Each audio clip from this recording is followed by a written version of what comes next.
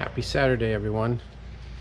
So, uh, a couple of years ago, had a problem with the Jeep here, and okay, so when you drove the car, um, the uh, you would see like the uh, ABS, traction, BAS, ESP, and all these lights come on on the dash, and randomly off and on, and then when they were on, sometimes you step on the brake and the anti-lock brakes are kicking in even though it's completely dry out. So it, the code was to the right front wheel sensor.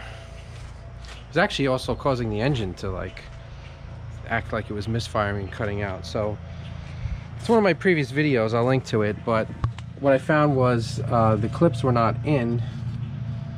This work was done at a dealer. The clips were not in and the wire was rubbing against the back side of the wheel and it, it, it uh, scraped through the insulation. So anyway, that day, couple of years ago, I taped it up and everything was good for a long time until just recently started having the same problems again. Not with the engine cutting out but with the all the lights coming on on the dash and the ABS kicking in when it was not needed. So I'm gonna go ahead and replace this sensor which comes with the new wire and everything and hope that that's it. I don't know what else could be happening here. I mean this hub is a replacement hub, which was done several years ago.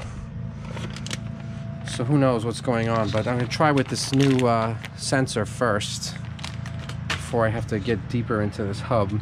So, you know, there's like a little access slot here. I tried to get it from the back, but I could not get this, the, uh, the hold down screw out. So, took off the brakes, the caliper, the rotor, and then, you know, can easily get to the screw. So I'm going to pull this out and uh, yeah, so basically just undo all these clamps.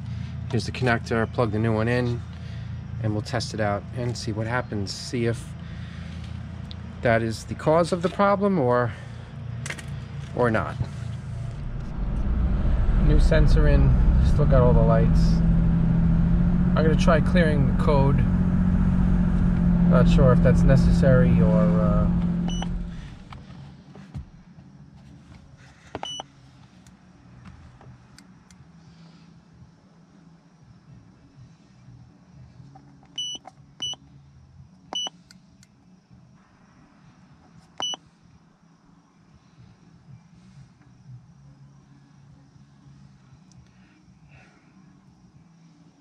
Right front wheel speed sensor.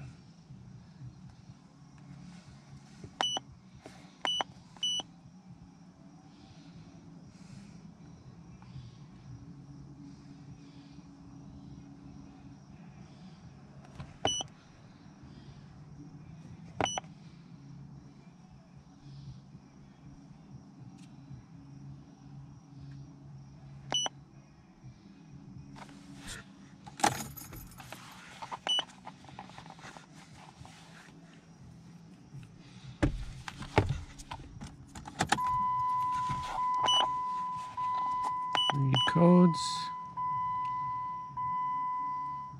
Okay. Let's see what happens. Cleared out the codes. Uh, lights are off for now, but you know, as this is an intermittent problem, just have to put some miles on it and uh, see what happens. Maybe it just needed a clear. Don't know. We'll see. So the other complaint from the customer, aka the wife, that I had was uh, when she was stopping and starting the car, there was a clunking noise coming from the back. So I thought maybe it could have been the, uh, the spare tire, because the full-size spare mounted under the back, but that was tight. Uh, that loosens itself up from time to time. Um, what I did find above the muffler is a little heat shield and uh, it was kind of hanging down touching the muffler so maybe that was the noise no I still hear the noise anyway I put a washer and a nut to get the heat shield back up, but I'm still getting a little bit of a clunk from the back. So I'm gonna check, see what's going on in the in the back hatch area. Something in there. It's funny because it seems like it's, it's still there, but not as loud as it was before.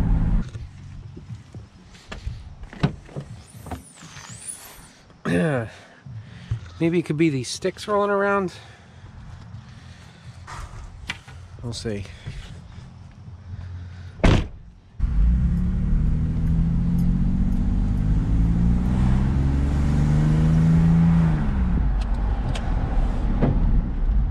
Oh no. That noise is still loud and clear back there.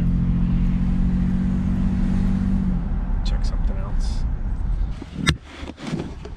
The spare tire jack and these tools were kind of loose in here.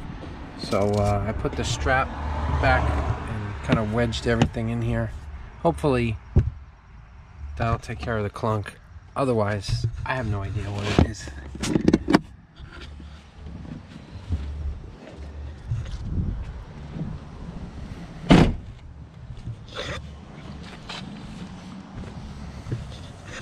One, o- one other issue is when you're riding highway speed with this car, uh, you're getting like a hum, we're getting like a humming noise coming from the drivetrain. When you're coasting, it kind of goes away. So I checked um, under, and there's a little plug uh, for the gear oil on the rear differential. So I pulled that out, and it was a little bit low. Usually, it's filled right to the bottom of the hole, so wasn't too much. So I put I put some gear oil in there, and uh, I don't have it. Next time I get a chance, we'll get it on the highway, see if it makes any difference. I doubt it. It's probably just some bearings wearing out. I mean, the car is pretty old. It's got almost 160,000 now, so you know, it could be some bearings going bad in the rear axle assembly or somewhere else, who knows. Anyway, that's going to wrap this one up for today. Thank you for watching and see you next time on Nowhere Fast Garage.